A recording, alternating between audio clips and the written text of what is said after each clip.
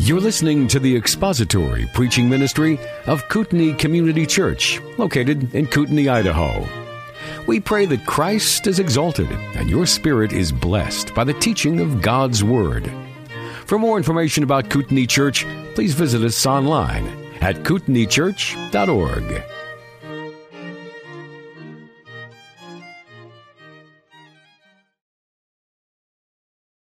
in the book of Acts that is probably familiar to most of you. It is probably more familiar than maybe some of the other passages that we've looked at in the book of Acts up to this time. And it is probably more familiar than many of the passages that we're going to be looking at in the book of Acts all the way through to the end. And it is familiar because it is striking. It stands out in our consciousness. You read the book of Acts and to be honest with you, it just does not seem to fit it doesn't seem to fit the flow. It doesn't seem to fit the environment and the feeling that you get in those first four chapters.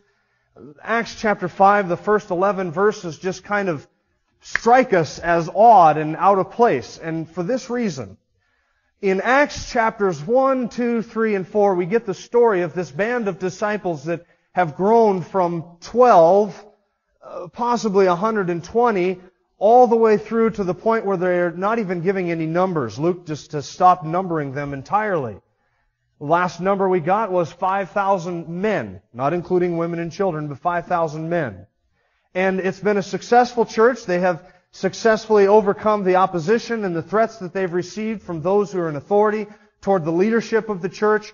It has emboldened them and they have become more bold in their proclamation of the truth about Christ and the church continues to enjoy favor in the sight of all of the people and opposition from the religious leaders and it continues to grow. And then last week we saw the unity that existed amongst those early Christians, the oneness of mind and heart that they had and how that manifested itself in, sh- in selling their possessions and sharing them with the poor so that in chapter 4 verse 34 Luke says there wasn't a needy person among them and everything is blissful, everything is beautiful, everything is going along perfectly, and then you come to Acts chapter 5, and you feel like you're hit in the face with a cup of cold water. Ananias and Sapphira. How does that fit? You know what Luke's doing? He does not want you to get overly romantic with the early church. Listen, they had problems too. As long as you have people, you have problems. And they had problems in the early church. Unless you get to the point where you think, man, I just wish I could go back and be part of the early church. That, they really had it together. There was no sin back there. There was no people problems. There was no issues. There was no strife. Listen, you got an account of sin in chapter 5 and an account of potential strife in chapter 6. And wait till we get to chapter 15 where Paul and Barnabas part ways. People problems. Don't fall too in love with this early group of people because listen, they had their issues too. And Ananias and Sapphira were an issue that had to be dealt with. Now we've seen how Satan has attacked the church. First externally, physically, right? Threats. It's an external attack from those who are outside of the church with threats basically of physical harm or physical violence toward the apostles. That didn't work. So now Satan turns his sights on something else. He's going to go inside the church and rather than threaten it physically, he's going to threaten it morally. And God moves very quickly to deal with the moral compromise in the church. And that's the account we get in Acts chapter 5 with Ananias and Sapphira. So we're going to observe three things there. The first thing I want you to notice is the contrast that exists. Now we're actually going to pick it up back in chapter 4 verses 36 and 37 because there's an unfortunate location of a chapter break there at the end of chapter 4, beginning of chapter 5. It would be nice if those verses were, were, the chapter break kind of was moved back a little bit to be before chapter 4 verse 36. When we got at the end of chapter 4, we saw that the early Christians were selling their possessions and giving them to the poor, or giving them to the apostles to be distributed amongst the poor. Then we get to Acts, the end of Acts chapter 4, and we get a positive example of that, and a negative example of that. Acts chapter 4 verse 36. Pick it up with me there. Now Joseph, a Levite of Cyprian birth, who was also called Barnabas by the apostles, which translated means son of encouragement. This is the positive example. A man named Joseph. He's a Levite. Now the Old Testament had stipulations the Levites couldn't own land. Barnabas, for whatever reason, owned some land. Did he inherit it from his wife? Did he inherit it from an uncle? Did it get given to him? Did he just pick it up? Did he buy it? We don't know. But maybe by this time that prohibition against Levites owning land had been let aside. But now, Barnabas, who is a Levite, owns a tract of land. He's of Cyprian birth, which means he was born on the island of Cyprus. His name is Joseph. And the apostles nickname him Barnabas. Why do they nickname him Barnabas? They discern something in him, a character trait, a giftedness, a propensity toward encouragement. And so they nicknamed him Son of Encouragement or Barnabas. Barnabas was one of those individuals who was always running around encouraging people. He had that spiritual gift. You know the type of people? You get cards from them in the mail. They give you a little gift just when you're plodding along and you think nobody notices what you're doing and you're down and the Lord works through that individual who's a channel of His encouragement to sort of lift your spirits a little bit. Where would the church be without Barnabases? There's lots of Barnabases in our body. People who have the gift of encouragement. And I would say to you, use that gift. Because for every church where there's no Barnabas, friends, that is a, that is a dark place to be. They, need Barnabases in the church. Barnabas was that kind of individual. Joseph. And he was close enough with the disciples that they give him a nickname. You don't nickname people that you're not familiar with or you don't know. You don't just meet somebody and then give them a nickname. The apostles knew Barnabas well enough to give him the nickname, uh, Joseph well enough to give him the nickname Barnabas, which means son of encouragement. And he's with the apostles, and listen, he's in, introduced here intentionally because this is the same Barnabas that goes with Paul later on in the book. That's this Barnabas. Now, that's Barnabas, that's his bio, and what does he do? Verse 37 says that he owns a tract of land, he sold it, and he brings all of the proceeds from that sale and he lays it at the apostles' feet to be distributed amongst the poor. And that's it. He's the positive example of how that practice of selling goods, giving them to the apostles, and taking care of the needy, he's a positive example of how that worked out. Now we have a real unfortunate case. And here's the contrast with Ananias. And listen, don't let the chapter break fool you because these two men are put up as stark opposites so that you can see a positive and you can see a negative. Now we're given all of Barnabas's sort of genealogy, his biographical information. He had a nickname, he had the gift of encouragement, he was born on Cyprus, he was son of a Levite, he was a Levite, his name was Joseph, all of that information. All we know about Ananias is that his name was Ananias. Why is that? Barnabas plays a major role in the rest of the book of Acts all the way through to chapter 15. Does Ananias play a major role in the rest of the book of Acts? What do you need to know about Ananias? His name, that's it. You don't need to know anything else about him because he doesn't show up again in chapter 6 or chapter 7 or chapter 8 or chapter 9. This is the first we read of Ananias, and this is the last we read of Ananias. Here's what he did. Chapter 5 verse 1. A man named Ananias with his wife Sapphira, and by the way, you won't read about her again after chapter 5 as well. With his wife Sapphira, they sold a piece of property and they kept back some of the price for themselves. Ananias did this with his wife's full knowledge, and bringing a portion of it, he laid it at the apostles' feet. Now, externally, he did exactly what Barnabas did. Both men owned a tract of land. Both men sold it. Both men brought money to the laid it at the apostles' feet for taking care of the poor. But Ananias' act was slightly different. He had a piece of land. He sold it. He took back some of the price of that land. He brought the rest to the apostles' feet and he gave it to them for distributing, uh, distributing among the poor. He didn't give all of it. He gave some of it. Is there anything wrong with doing that?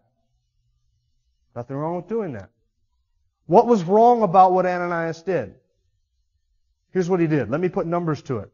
He owned a tract of land. Say it was worth $50,000. He said, Barnabas sold a tract of land, brought it. Other people are doing this, and this is going over well in the church. Ananias did the same thing. He sold his tract of land. Say he got $50,000 for it.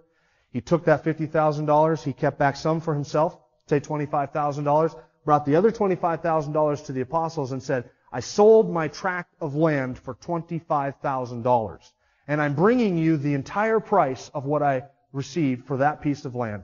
Here it is. That's what he did. Now, you notice that Luke doesn't tell us any figures. You notice that?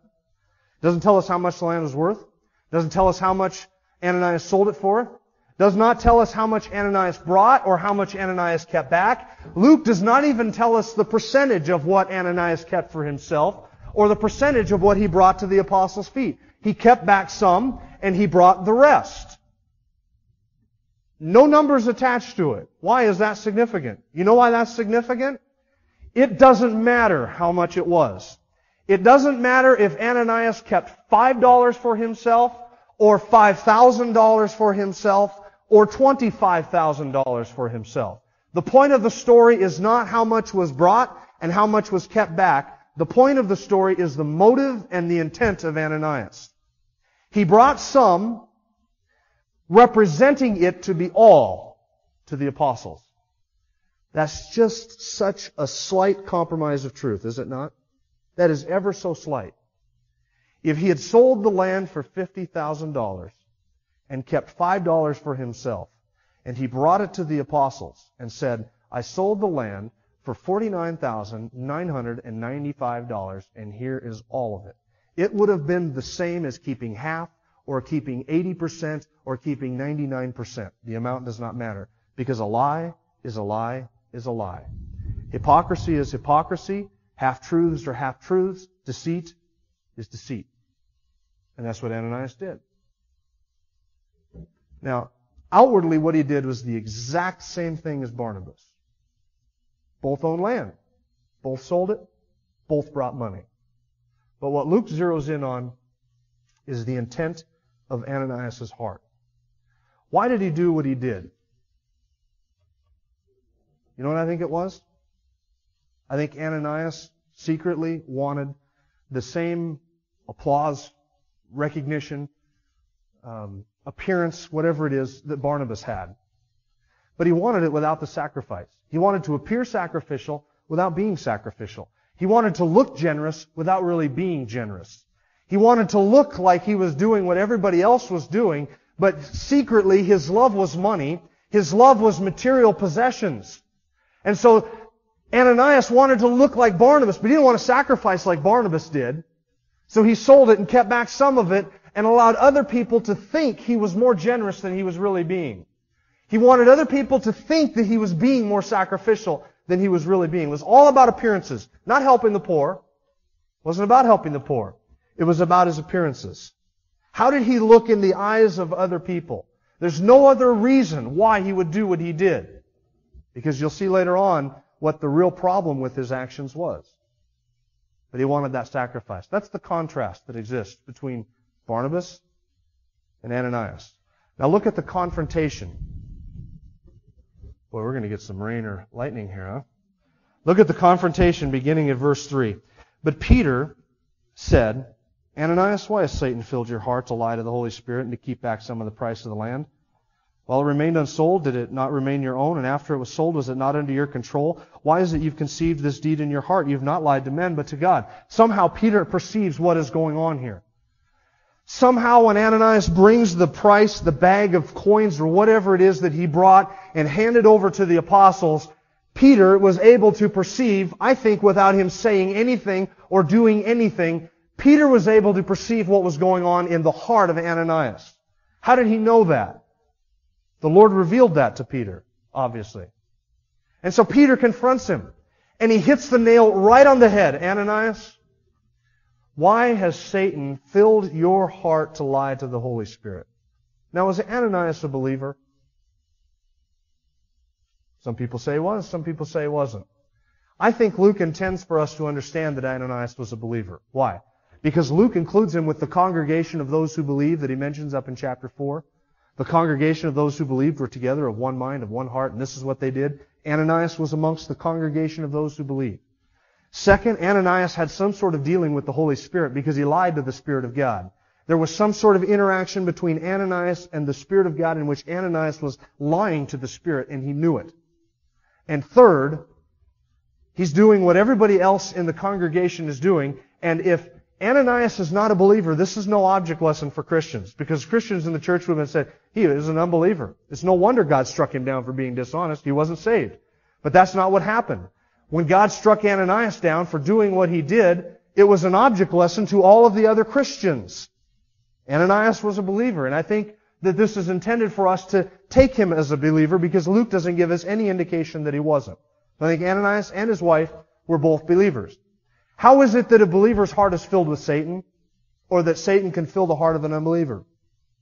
That has nothing to do with possession, friends. It has nothing to do with Satan possessing an individual. It has to do with influence and control. Ananias had yielded enough influence and enough control and had yielded enough to Satan that it was Satan who had put this deed in his heart. But listen, it wasn't Satan's fault because later, later Peter says, why have you conceived this deed in your heart? Right? So it was both Ananias and Satan who were working in conjunction with each other. Obviously Ananias doing the bidding willingly, unaware that it was actually Satan who had filled his heart with this intent and this control to do what he did. Why has Satan filled your heart to lie to the Holy Spirit? And then notice what Luke says, or what Peter says, you have not lied to men, verse 4, but you've lied to God. Now drop that verse in the lap of the Jehovah's Witness next time he drops by your house and tells you that there's no such thing as the Trinity and the Holy Spirit is not God. You have lied to the Holy Spirit, Peter says in verse 3. You have lied to God, verse 4. That's the person of the Spirit. He affirms the deity of the Spirit. Now notice how Peter gives us the problem with Ananias' action. He says, when before it was sold, it was yours. And after it was sold, it remained under your control. In other words, nobody placed the requirement to sell the land on you, Ananias. It was your land. You could have sold it or you could have kept it, and nobody would have thought any differently of you. And after it was sold, did it not remain your possession? In other words, you made the transaction, you received the money for it, and the money was in your possession. Ananias was free to keep back as much of that money as he wanted and give as much as he wanted to the poor. It was his land. It was his money. And if Ananias had just gone to Peter and said, I sold the land for X amount, I have kept X amount for myself for some renovations on my home, and I am giving the rest to the poor, everything would have been fine. He was free to sell it. He was free to keep all of the money. He was free to keep some of the money. What he was not free to do was to misrepresent what he had done to make himself look better than he really was. That's what he was not free to do. So Peter says, it was yours. Before it was sold, after it was sold, it was yours. Why in the world would you do that? You could have given $5 and kept 490 or 49,000 all to yourself and given us five. And we wouldn't have thought any less of you. What Ananias did was generous, was it not?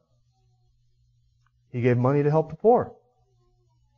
But he was generous and duplicitous. He was generous and he was deceitful. Something was going on behind the scenes that he didn't want anybody to know about. And Peter puts his finger on it and he confronts Ananias. And then look what happens in verse 5. You've not lied to men, but to God. And as he heard these words, Ananias fell down and breathed his last. He dropped dead. And listen, folks, I have read all kinds of bizarre things this week of people who try and somehow make this palatable to us.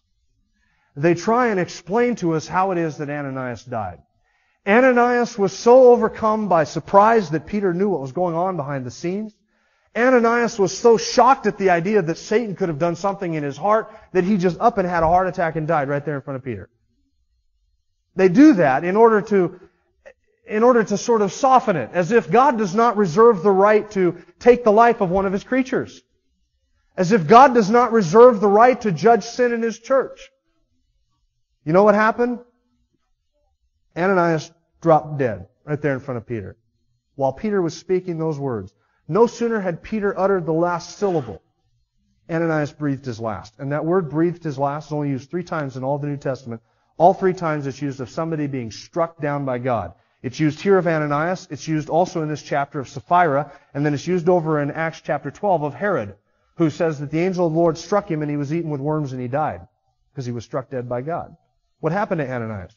Did he have a heart attack out of shock? No. God struck him dead.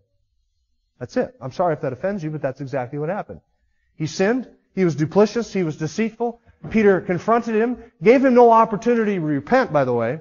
He didn't say, when Ananias brought the bag up, Ananias, is there something on your heart you would like to tell us about before you give this money? Is there anything you'd like to get off of your chest before we distribute this to the poor? Peter didn't do that. He just confronted him, and dead he went. Dropped dead right in front of him. And it says that the young men came in, they covered him up, they took him out, and they buried him. And that's kind of odd to be buried the same day, isn't it? It wasn't odd in that culture. It wasn't odd in that region. They buried them, buried them the same day that they died that day, time, often because of the heat in the area. It's such an arid and dry and hot area that they would bury them the same day. And that's what they did. And also, in the Old Testament law, it was required that if somebody died under the curse of God, they were buried the same day so as not to defile the land. So the men, young men bring him out, and they bury him, and this happens quick. So quick that Luke says Sapphira, his wife, didn't even know what happened. Because three hours transpired. Look at the text. Three hours transpired. And an interval of three hours, and his wife came in not knowing what had happened. And Peter responded to her, Tell me whether you sold the land for such and such. And she said, Yes, that was the price. Three hours have gone by, and Sapphira has no idea what's going on with her husband. Now that's kind of odd, isn't it? Because I asked myself, where was Sapphira during all of this? What was she doing? How can she not know after three hours? You would think that word of an event like that would spread so quickly that wherever Sapphira was at, she'd have heard it. You would think that somebody there in the church that day would see this and they would be out the door finding her, hunting her down in the marketplace, at home, at the relative's house, out in the field, wherever she was at, and that they would let her know. But somehow, three hours go by, Sapphira doesn't know anything of what's happened to her husband. It's been kept quiet. Now some people, and I actually read one guy who said, this shows you just how hard-hearted Peter was in his early years. He really had not developed a pastoral heart, and if he had had more time and experience under his belt, Peter would have been a lot more gentle with Sapphira in announcing to her her husband's death. And Peter probably would have sent one of the other apostles out to comfort her. And I mean, here, after all, she, her husband dies. She's not invited to the funeral. She doesn't make any, she not even goes to the graveside, doesn't make any funeral arrangements. She's not even informed about it. How do you explain something like that? I think Peter knew how deep this conspiracy of deceit went. And I think it was kept secret for the very purpose of exposing her sin and bringing judgment upon her. I think that when the Spirit of God revealed to Peter what Ananias had done, Peter knew it went all the way to Sapphira. And Peter's intention was to allow God to mete judgment out on both of them. So I think what happened was the church was just quiet. You're silent.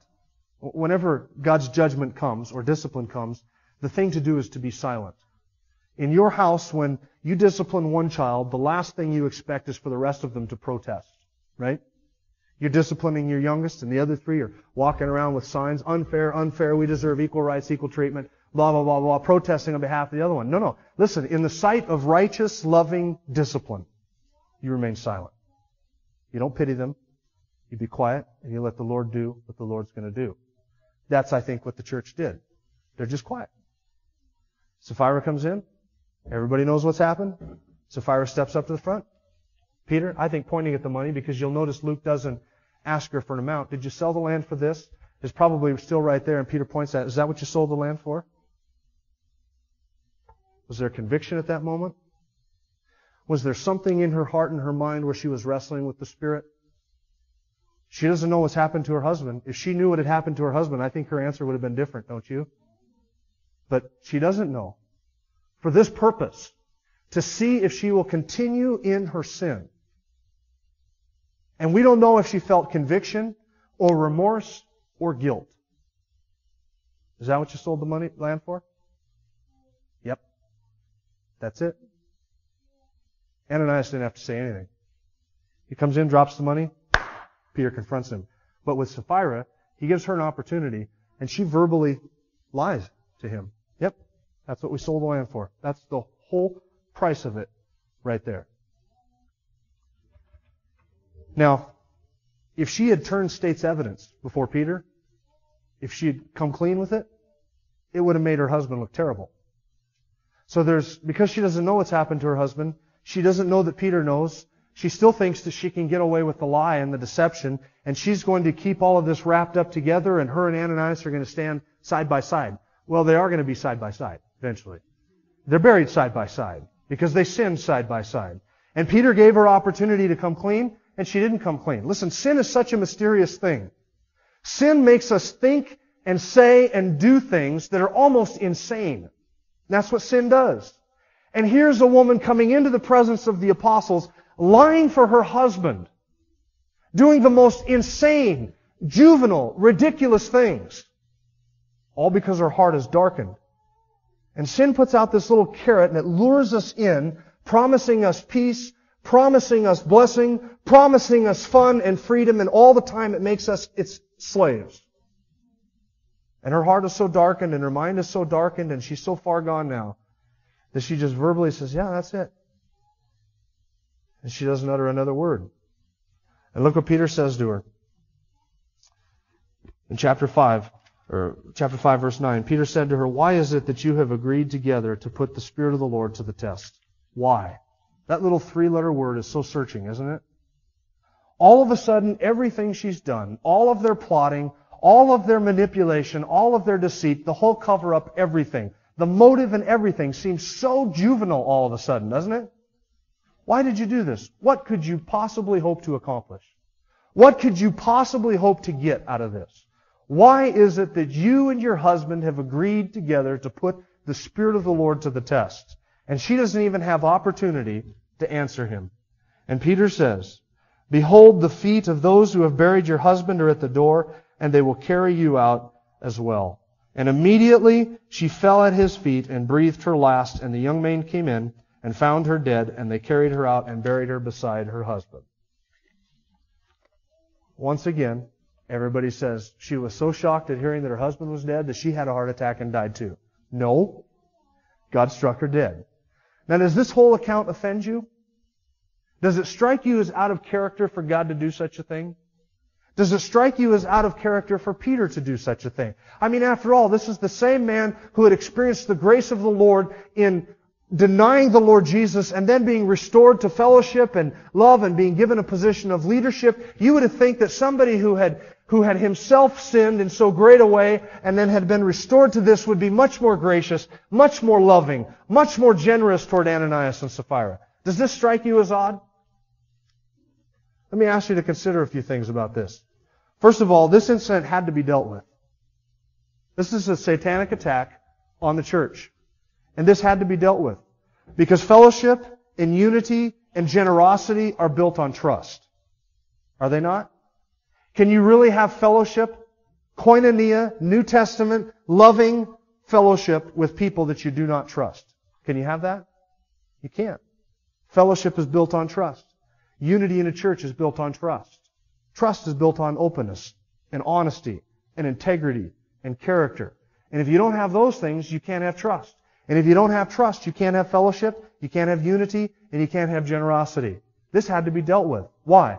Because the church is unified, the church is generous, the church is, is fellowshipping together, and this incident threatens all of that. It threatens the very moral, moral fabric of the church. And if they cannot deal with this, then into their midst would creep all kinds of deceit. And everybody outside the church from the very beginning would have said, the church is filled with a bunch of hypocrites because I know Ananias sold me that piece of land for X amount. He kept some for himself and the apostles didn't catch it. Had to be dealt with right at the beginning. Because it threatened all of that. threatened the integrity of the church, fellowship. The sin had to be dealt with. And listen, friends, the incident shows us the seriousness of sin. That our sin is not necessarily only against each other. David, after his sin with Bathsheba, said, Against you and you only have I sinned and done what is wicked in your sight. That's why Peter said, You haven't lied to men. You've lied to God. You may be able to pass it off, Ananias, in front of all of these people, but there's one individual who sees your heart. And all of a sudden, Ananias and Sapphira and the entire church is suddenly aware that there is this whole realm that is seen only to myself and to God called motive and intent. And that matters in the sight of God. It had to be dealt with. It threatened them. And listen, folks, the church needs to be reminded that you and I exist for the glory of God, not vice versa. He does not exist for us. He does not exist to fulfill my needs. He does not exist for my glory or my end or my means or my betterment or my peace or my comfort or my satisfaction. He does not exist for any of that. We exist for His glory. And the church needed to be reminded of that. Ananias was not going to be able to use the benevolent ministry of the church as a grandstand for showing himself off and deceiving everybody in the process. And if this had been allowed to stand, you know what would have happened?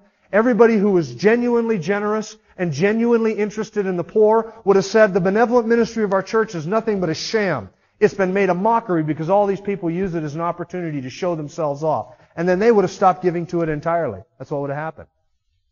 It had to be dealt with, and God dealt with it swiftly. It's a fearful thing to fall into the hands of the living God. And we ought to mortify sin. You can imagine that this had some consequences, don't you think? Verse 11 is the consequences. And this was mentioned up at the end of verse 5 too. And great fear came over the whole church and over all who heard of these things. Boy, howdy. You think? Can you imagine if that happened today? What would happen to us? Uh, uh let me give you a scenario. Let's just picture something for a second. We're having a congregation, a consecration Sunday. The place is filled with our body. We're here. We have, we have worshiped. We have sung to the Lord. We are giving uh, money to be used for the new facility. And we are together on our consecration Sunday and we get done with the message and we are ready to offer ourselves and our finances to the Lord to be used in that facility. And as the plate is passed right up here near the front of this middle row, there's a man sitting next to you. You're sitting up here too. There's a man sitting next to you, pulls out an envelope out of his coat pocket, and it's thick. And it's packed tight. And you could tell that if he opened that thing up, he couldn't fit another bill in there. And it is just hard, packed full of bills, and it's sealed tight. And he thumps it a couple times on his hand, and it's got his name written in all capital letters in red on the front and on the back. And he's one of the first people, and as the plate goes by, he drops that in the plate, boom, boom, down it goes like that. And, and uh, it passes along, and everybody is able to see that, and he's proud of what he has done, and it gets to the end of the row, and he gets to the end of his life. Boom! Dead he drops. And later on, we find out that the envelope was filled with $1 bills. He wanted to look generous in front of everybody. And he gave to the Lord, but the whole thing was a mockery and a sham. What would that do to you? You're having communion some Sunday, you're sitting there in the pew, the elements are passed, the juice is there, it goes from the person next to you, you take your juice, and it goes on, and the person next to you drinks his juice. And I finish praying, and everybody looks up, and he's dead. The guy sitting right next to you, dead. Later on, we find out he was living an adulterous relationship. And he had played, had adultery the night before. He was planning another adulterous encounter that evening, and he had come together with the Lord's body and made a mockery and a sham out of the Lord's Supper and confession and wanted everybody to think how spiritual he was, and he partook of the elements right there in front of everybody, and he died as a result of it. What would that do to you? All of a sudden, we'd take sin a lot more seriously, wouldn't we? There'd be a whole lot more self-examination going on. And you'd think twice before you partook of communion, wouldn't you? The next time? And you'd think twice before you gave again at the offering box, wouldn't you? To make sure that your motives were pure and they were right, God still reserves the right to take our life because of sin. He still reserves that right. Because we exist for His glory, not He for ours. And we ought to be passionately pursuing holiness and walking in integrity and in light and in openness before everybody and mortifying sin in our lives and hating it. Why? Because we ought to resist sin to the point of shedding blood because it is a fearful thing to fall into the hands of the living God. And Paul wrote in 1 Corinthians 11 to the Corinthian church, because of what you're doing at the Lord's Supper, there are some among you who are asleep, some among you are sick, and a number of them have fallen asleep. A number of them have died because of what they were doing at the Lord's Supper. And God will still use that to chasten His body. And I believe that He sometimes does. It has a purifying effect on the church. I ask myself, I wonder if Peter was thinking of this incident when he wrote in 1 Peter chapter 4, it's time for judgment to begin with the house of God. I wonder if he was thinking of Ananias. I wonder if Peter had in the back of his mind Ananias when he wrote in 1 Peter chapter 3, quoting Psalm 34, the one who desires life to love and see good days must keep his tongue from evil and his lips from speaking deceit. He must turn away from evil and do good. He must seek peace and pursue it. For the eyes of the Lord are toward the righteous, and his ears attend to their prayer. but the face of the Lord is against those who do evil. You want to see good days? You want to see long life? Peter says? Keep your tongue from evil and your mouth from practicing deceit. Ananias' sin was real simple. He made himself out to be something that he wasn't. A harmless white lie? I don't think so. It was deception. Brought his wife into the deception with him, and it cost both of them their lives for the purity of the church. That's a good exchange, by the way. What should you and I do? You and I should examine ourselves to see if our business dealings, our personal finances, and our motive in everything is pure. Do you come to church here on Sunday morning because you want everybody else to think you're spiritual? Is the reason you come to church here to simply keep up appearances and give everybody the impression that you're walking with God when in the off hours you're not really? What's your motive for service? Do you serve in the capacity in which you serve so that everybody else will see you and think something of you that's not true? Or do you serve the Lord out of the purity of your heart, out of a love and devotion for Him, with pure motives and pure intent? Openness and frank and honest in front of everybody. Where are you at in there? Is it all a facade?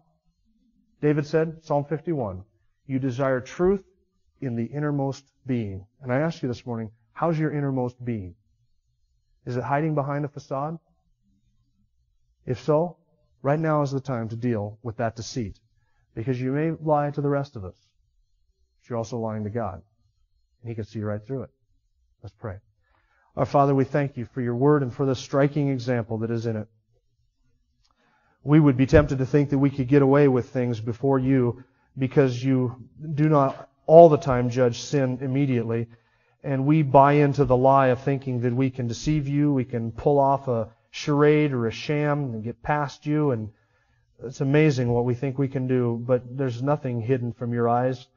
All things are laid open and bare to the eyes of Him to whom we must give account, Hebrews says.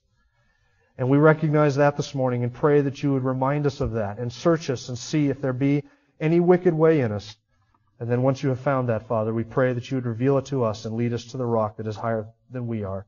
In Jesus' name, amen. Thank you for listening to the latest podcast from Kootenai Church. If you'd like to learn more about Kootenai Church or to donate to our church ministry, you can do so online by visiting kootenaichurch.org. We hope you enjoyed this podcast and pray you'll join us again next time. Once again, thank you for listening.